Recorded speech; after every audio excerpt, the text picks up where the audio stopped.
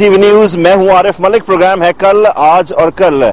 East London में नाजरीन आज हम मौजूद हैं और ईस्ट लंदन में हम बातचीत करेंगे पाकिस्तानी कम्युनिटी से, कश्मीरी कम्युनिटी से। जैसे कि आप जानते हैं कि तकरीबन 1.2 मिलियन पाकिस्तानी लोग यहाँ पे मुकीम हैं और जिसमें हमें बताया गया है कि तकरीबन 1 मिलियन के करीब लोग बिलोंग करते हैं आज़ाद कश्मीर से। तो उनके हम कामयाबी के सफ़र के हवाले से हम बातचीत करेंगे कि जब उन्होंने यहाँ पे स्टार्ट किया 1960 की दिहाई में यहाँ पे आए शिफ्ट हुए और उसके बाद उन्होंने बड़ी मेहनत, मशक्क़त की लो प्रोफ़ाइल काम किए और उसके बाद तरक्की करते करते आज हमारे पाकिस्तानी यहाँ पे एम भी हैं, यहाँ पे सेक्रेटरी ऑफ़ स्टेट्स भी हैं और इसके अलावा यहाँ पे लॉर्ड मेयर्स भी हैं। बड़े अच्छे उहदों पे फाइज हैं और इसके अलावा बिज़नेस कम्युनिटी के भी जो टाइकोन्स हैं, उसमें भी उनका शुमार होता है पाकिस्तानी कम्युनिटी का। तो उस वाले से हम बातचीत करेंगे और आपको ये भी पता चलें कि एक यहाँ से कंट्रीब्यूट करना चाह रहे हैं पाकिस्तान के लिए जो ओवरसीज पाकिस्तानीज हैं, जिसमें पाकिस्तानी फॉरेन इन्फ्लक्स जो है उसमें भी अपना एक रोल अदा करना चाह रहे हैं और पार्टिसिपेट करना चाह रहे हैं कि पाकिस्तान में ज़्यादा से ज़्यादा इन्वेस्टमेंट यहाँ से लाई जाए। तो इस इन इन इन, इन जो बिज़नेस अपॉर्चुनिटीज़ हैं जो ये भी मौाक़े हैं इस हवाले से भी आज हम बातचीत करेंगे कि किस हद तक यहाँ के लोग कंसर्न हैं पाकिस्तान के हालात वाक़ात से पाकिस्तान की तमीर और तरक्की के हवाले से। उन तमाम ओवरसीज़ पाकिस्तानी से हम बातचीत करेंगे आज।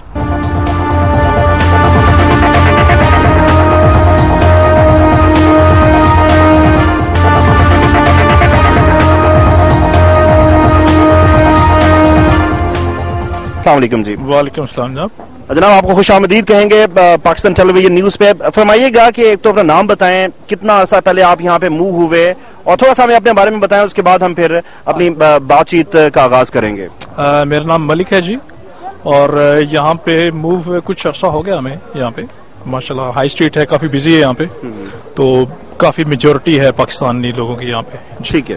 अच्छा ये फरमाइएगा कि इस वक्त सोशल चेंजेस भी बहुत सारी आ रही हैं कल्चरल डिफरेंस भी बहुत सारा है। पाकिस्तान में अगर आप बिज़नेस करते हैं कि वहाँ पे मौाक़े भी मुख्तलिफ़ हैं और यहाँ पे बिज़नेस करने के मौाक़े मुख्तलिफ़ हैं हाँ यहाँ पे मुश्किल बहुत हैं। इकनॉमिक क्रंच पूरी दुनिया में है, पाकिस्तान में भी मुश्किल हैं। इस हवाले से फरमाइएगा कि कितनी मुश्किल का आपको सामना करना पड़ता है as a Pakistani to work overseas मुश्किल तो जब यहाँ पे लोग आते हैं ऑब्वियसली डिपेंड्स कि आपका स्टेटस क्या है। ठीक है? फ़र्स्ट ऑफ़ ऑल तो आपको अपना स्टेटस सही करना है। उसके बाद जब आपका स्टेटस हो जाए देन ऑब्वियसली यहाँ पे लैंग्वेज बैरियर है एजुकेशन है। मेरे ख्याल में कुछ टाइम लगता है यहाँ पे सेटल होने में इंसान को। जी, काफ़ी टाइम लगता है। स्पेशली जब आपने बिज़नेस करना है तो उसके लिए आपको इन्वेस्टमेंट चाहिए, पैसा चाहिए एक्सपीरियंस चाहिए।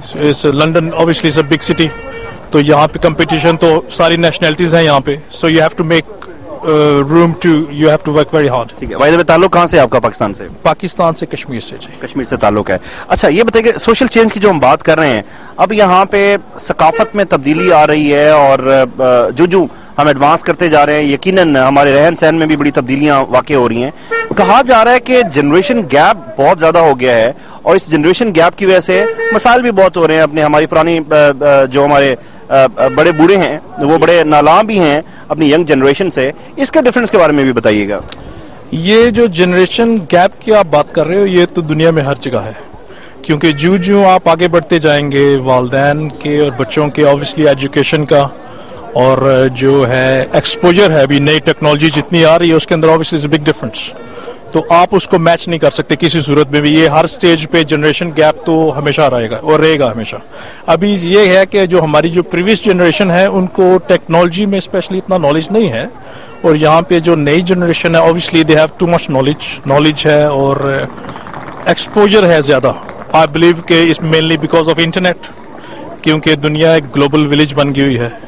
सो so, अभी जो बच्चे हैं they have too much knowledge comparing to the old parents so so, उसकी वजह से मेरे ख्याल में काफ़ी डिफरेंस आ गया है चेंजेस अच्छा मौजूदा हुकूमत ने बड़ी आ, आ, एक एक पॉलिसी वजह की है जो फॉरेन इन्वेस्टर्स हैं खास तौर पे पाकिस्तानी कम्युनिटी जो वापस पाकिस्तान में आके पैसा लगाना चाह रहे हैं। जिसकी सबसे बड़ी मिसाल मीरपुर आज़ाद कश्मीर में जो इंडस्ट्रियल एरिया है आप यकीन उससे वाकिफ होंगे कि उसको टैक्स फ्री जोन करा दिया गया है और इनकरेज किया गया है कि ओवरसीज पाकिस्तानी वापस आए और इन्वेस्टमेंट वापस अपने मुल्क में लाए। इस हवाले से क्या कहेंगे आप?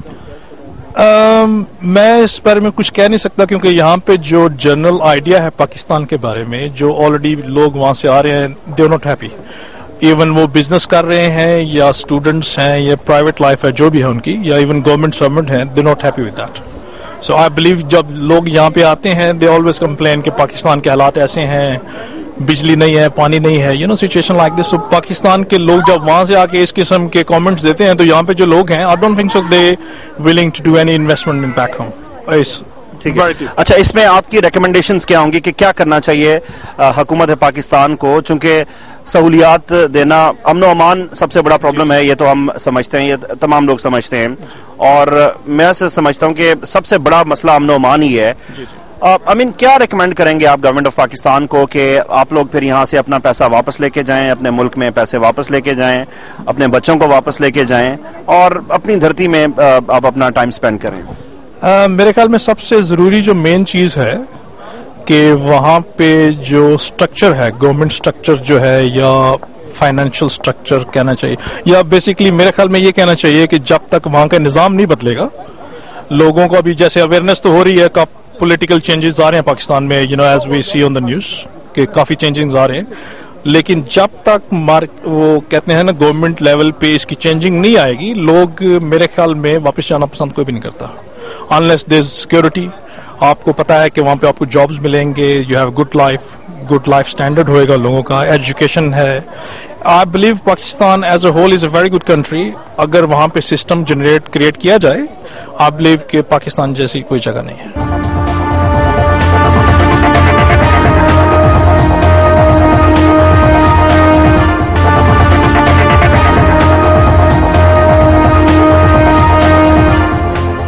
मजहबी आज़ादी की बात की जाती है हमेशा के, यहाँ पे हर मज़हब को आज़ादी है, अपने हिसाब से वो इबादत कर सकते हैं। तो आप इस बारे में बताइएगा, चूँकि आप अबाया भी पहन रही हैं, अबाया पे बड़ी डिस्कशन भी हो रही है यूरोप में। कि होना चाहिए या नहीं होना चाहिए इस वाले से फरमाइएगा।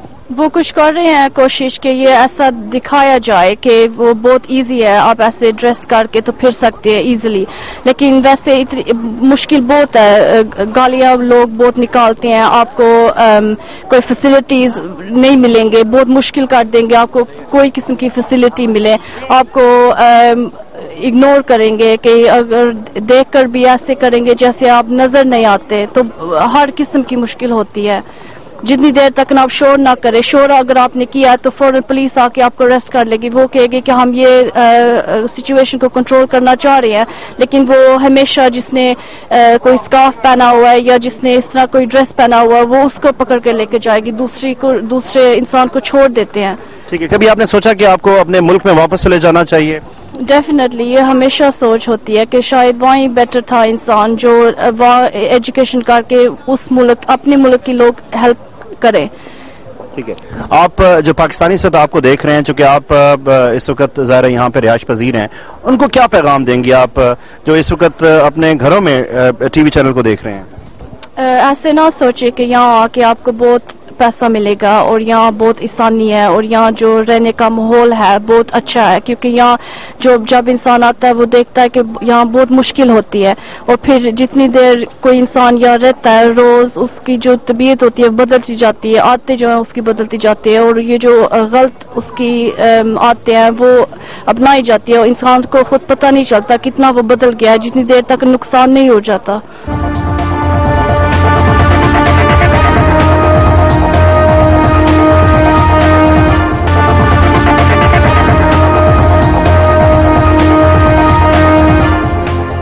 अस्सलाम तारुफ कराइएगा। वालेकुम सलाम मेरा नाम अकमल खान है और मैं इधर वॉल्थम स्ट्राइट स्ट्रीट में हूँ और इधर ही काम करता हूँ इधर पास ही। और आप पढ़ते हैं? जी स्टूडेंट हूँ यहाँ पे। क्या क्या कर रहे हैं? डिप्लोमा इन बिज़नेस स्टडी कर रहा हूँ मैं यहाँ पे लेवल फाइव में। और अच्छा ये बताएँ कि स्टूडेंट्स बड़े परेशान हैं इस वक्त जो मैंने अभी तक जिन स्टूडेंट से बातचीत की है। आप बताइएगा कि स्टूडेंट्स के मसाइल क्या हैं? लिविंग कितनी महँगी है? उनको अपनी जो अर्निंग है, वो कितनी मुश्किल से कर सकते हैं वर्किंग आवर्स भी कम है, अगर कहीं नौकरी नहीं मिल रही तो कैश इन हैंड का काम करना पड़ता है, इस वाले से बताइएगा। जी, ये वाकई सच है कि यहाँ पे स्टूडेंट्स को बहुत ज़्यादा मसाइल का सामना है, और इसमें पहला मसला तो ये है कि कॉलेज की फ़ीस बहुत ज़्यादा है, चार हज़ार, पाँच हज़ार पाउंड फ़ीस है जो हाई लिस्टेड कॉलेज है, और इसके लिए उसके अलावा जो फेयर है ट्रेवल फेयर वो बहुत ज़्यादा हो गए हैं इसके अलावा जो रूम रेंट है रेंट है जो वो बहुत ज़्यादा है यहाँ पे। एक उधर दूसरी साइड पे अगर जाए तो हमें जॉब्स बिल्कुल नहीं मिल रही और यहाँ पे बहुत सारी मुश्किल का सामना है। ठीक है। अच्छा एक स्टूडेंट का हफ़्ते का खर्चा कितना होता है? आप आप आप, आप खुद स्टूडेंट हैं आपका अपना कितना खर्चा है और आप अर्न कितना कर लेते हैं? अर्न तो तकरीबन मैं तीन सौ सकता हूँ एक वीक में लेकिन यहाँ पे तकरीबन पाँच हज़ार पाउंड जो है वो सालाना फ़ीस है कॉलेजेस की एक साल की।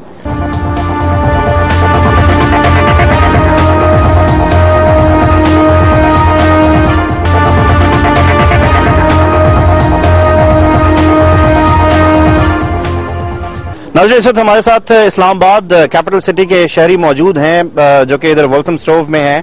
इनसे हम बातचीत करते हैं कि ये एज अ पाकिस्तानी क्या सोचते हैं? अपना नाम बताइएगा और बताइएगा कितने अरसे से आप हैं यहाँ? जी मेरा नाम शादाब अहमद है और 26 ईयर से हूँ मैं यहाँ पे। ट्वेंटी सिक्स ईयर्स हैं। अच्छा लग्जरीज मिल गई लोगों को बड़ा अच्छा लाइफस्टाइल मिल गया सारा कुछ मिल गया। अब ये बताइएगा कि कमी कहाँ है? आई मीन कि आपको सारा कुछ मिल गया पैसा भी मिल गया आप अपने मुल्क से बाहर हैं कहाँ कमी है? कमी ज़ाहिर है पाकिस्तान से दूरी की दूर आने की जो है वो है महसूस होता है क्योंकि वहाँ पे अपना मुल्क है आदमी बहुत महसूस करता है। सही।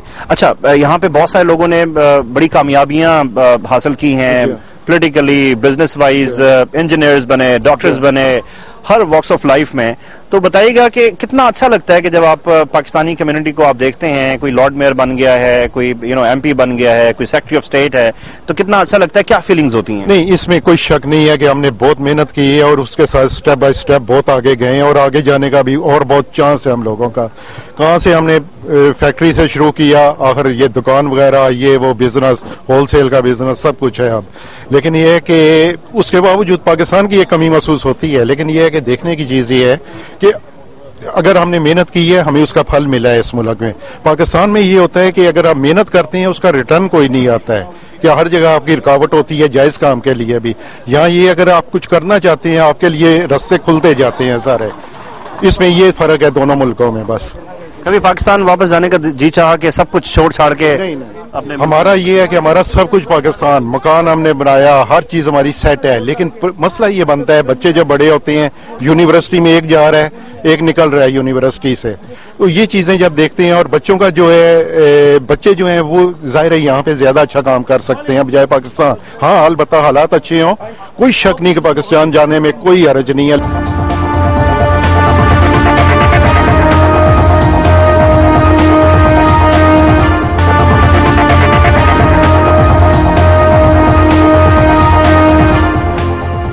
नाजर से हमारे साथ नदीम साहब मौजूद हैं। इनका ताल्लुक पाकिस्तान के रोशनियों के शहर कराची से है। इनसे हम बातचीत करते हैं। नदीम साहब कैसे हैं? आप ठीक ठाक हैं?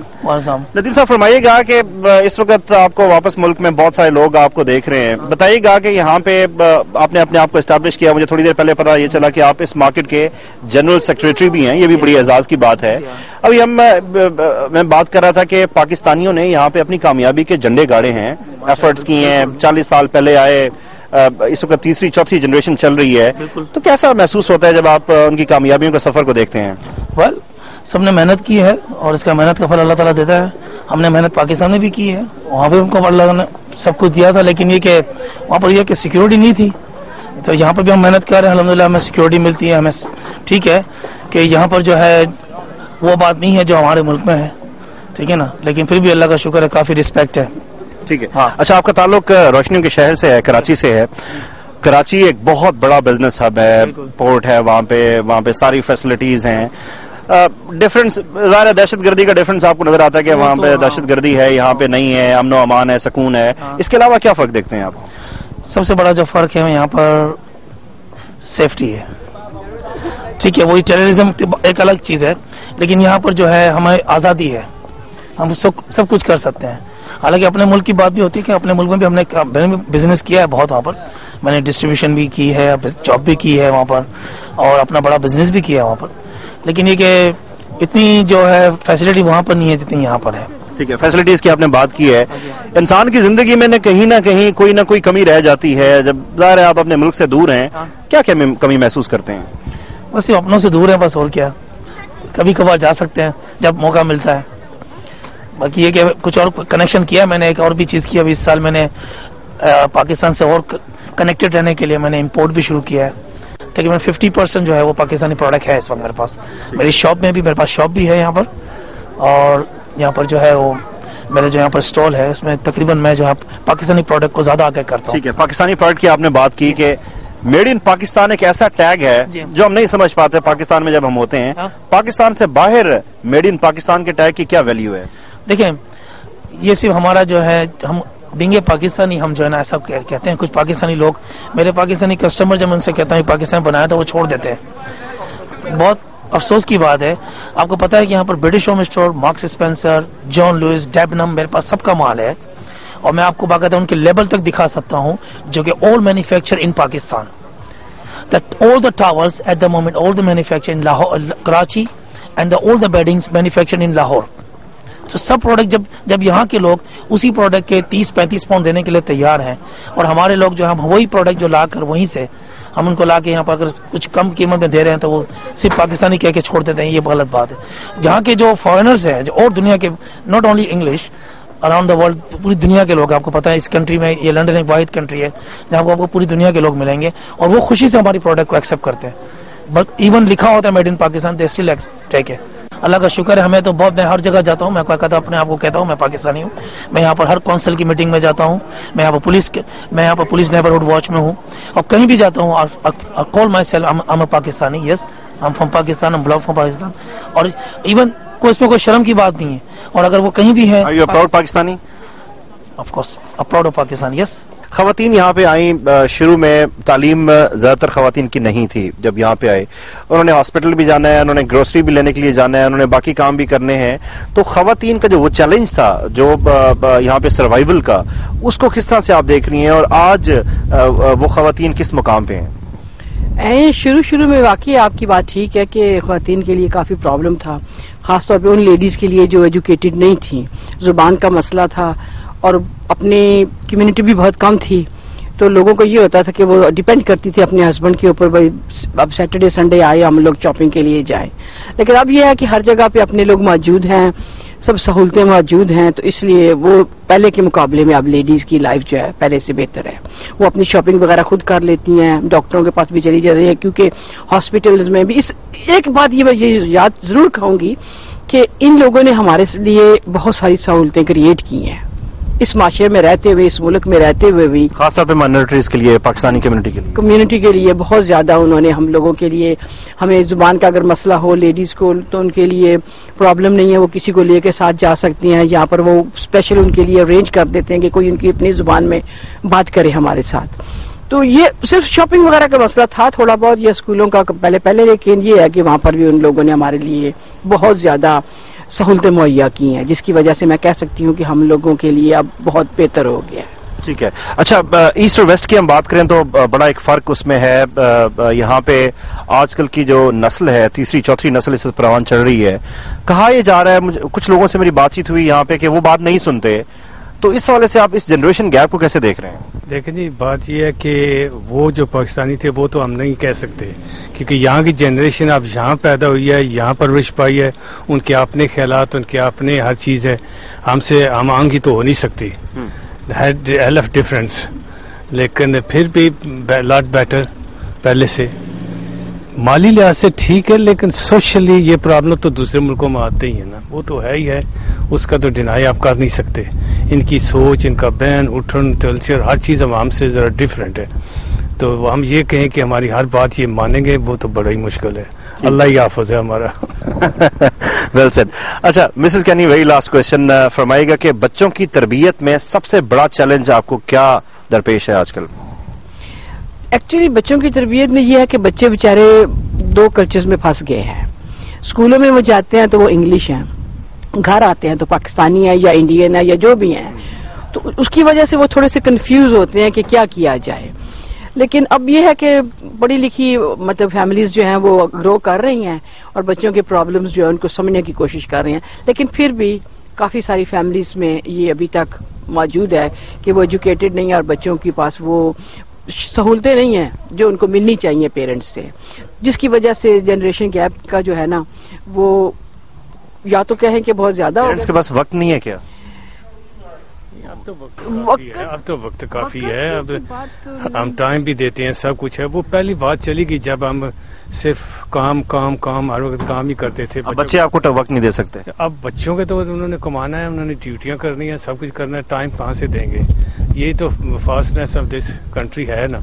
अच्छा मिसेस कैनी फोर्स मैरिजेस का एक एक ऐसी एक टर्म निकल आई है जिसमें पाकिस्तान में हम देखते हैं कि डेविड मिली बैंड वहाँ पे आया मैंने खुद इंटरव्यू किया डेविड मिली बैंड का and he launched forced marriages policy forced marriages project यहाँ पे भी बड़ा मैंने सुना कि जी वो जबरी शादियाँ कज़न मैरिजेस जनाब, सारे ने मुंडे ते कुड़ियाँ ਕੁੜੀਆਂ कुड़ियाँ उतो आ रहे ने। मतलब इस किस्म की एक चीज़ है। तो दो साल में उन्होंने रहना है सेटल होना है, नहीं होना, लेकिन चलें नेशनल हो जाएँगे। यहाँ पे तो इस हवाले से क्या कहेंगे आप?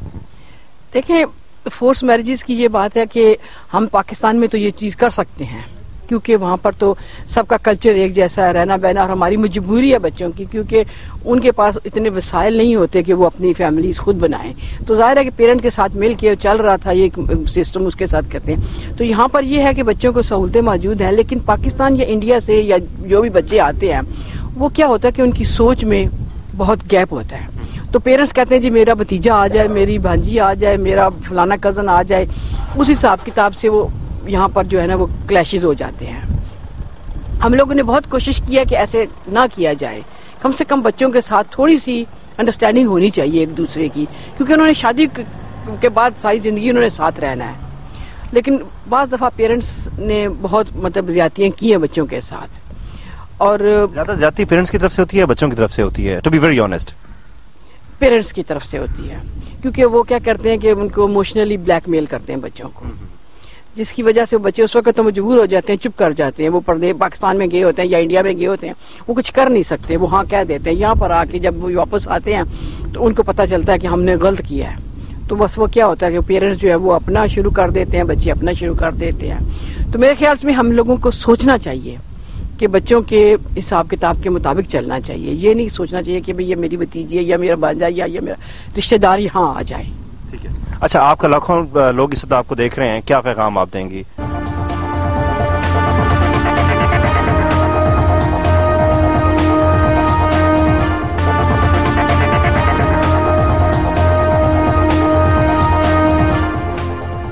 क्या डिफरेंस क्रिएट कर रहे हैं हमारे पाकिस्तानी लोग यहाँ पे पॉलिटिक्स में? एक तो आरिफ मलिक, मैं आपको बताऊँ कि पाकिस्तान यहाँ पे बेसिकली बहुत फ़र्क है। जो पॉलिटिकल एक्टिविटीज़ है, एक वो है पाकिस्तान में, जैसे आप आजकल भी देख रहे हैं हल्ला गुल्ला है, जलसे, जुलूस पब्लिक प्लेसेस पे है, कोई मतलब उस पर गैदरिंग है। यहाँ पे बिल्कुल मुख्तलिफ़ है। मैं आपको एक मज़े की बात बताऊँ कि जब मेरे आने के बाद लास्ट ईयर जो है, वो यहाँ पे एक इलेक्शन थे लोकल आई डोंट नो मुझे ये भी नहीं पता कि वो काउंसलर के थे या किसी एमपी के थे। तो उन्होंने कहा घर वालों ने कहा जी कि वो आपका कार्ड आया हुआ है और आपने जो है वो वोट पोल करने जाना है। अब हम जब वोट पोल करने के लिए गए तो एक चर्च में गए हम। उधर गए आप, दो लोग वहाँ पे बैठे हुए हैं। कोई बंदा नहीं एक खातून उसमें थी जहीफ जो है ना, वो जहीफ उम्र, एक खातून थी बुढ़िया। और एक एक आधा और बंदा था हम गए हैं उन्होंने देखा है वोट पोल किया और वापस आ गए। तो मैं घर आके अपनी मिसिस के साथ बात कर रहा था कि हमने किया क्या? उन्होंने कहा जी आपने वोट पोल किया। तो मैं हंस रहा था। मैंने कहा एक ये और एक हमारा कलाशन को आप समझते हैं कि वोट पोल करने का मज़ा नहीं आया इधर। वो तो यकीनन ना वो कलाशन कोफ ना कोई उसमें जो है वो एजेंट बैठा हुआ था ना उसमें कोई जो है वो पोलिंग एजेंट बैठा हुआ है ना कोई पुलिस ना ये वो। और दूसरी एक चीज़ उस पर से मैंने पॉजिटिव सेंस में ये चीज़ ली कि अगर यहाँ का, अगर यहाँ का जो वोट पोल करने का तरीका पोलिंग स्टेशन अगर यहाँ का चर्च हो सकता है, मजहबी मकाम हो सकते हैं तो वाई नॉट अगर हमारे मुल्क में पोलिंग स्टेशन की, को बजाय स्कूल कॉलेज यूनिवर्सिटी और पब्लिक प्लेस की जगह अब आप उसको उठा के मस्जिद में ले जाएँ तो एटलीस्ट वो जो जमीर वाला जिसको हमेशा लोग कहते हैं ना कि वो जमीर की आँख बंद हो गई या जाग गई या बंद हो गया उसको जो है ना, उस उस चीज़ को करने के लिए मेरी वैसे सजेशन भी है कि अगर किसी लेवल पे कोई इलेक्शन कमीशन इस चीज़ को ऑर्गेनाइज करे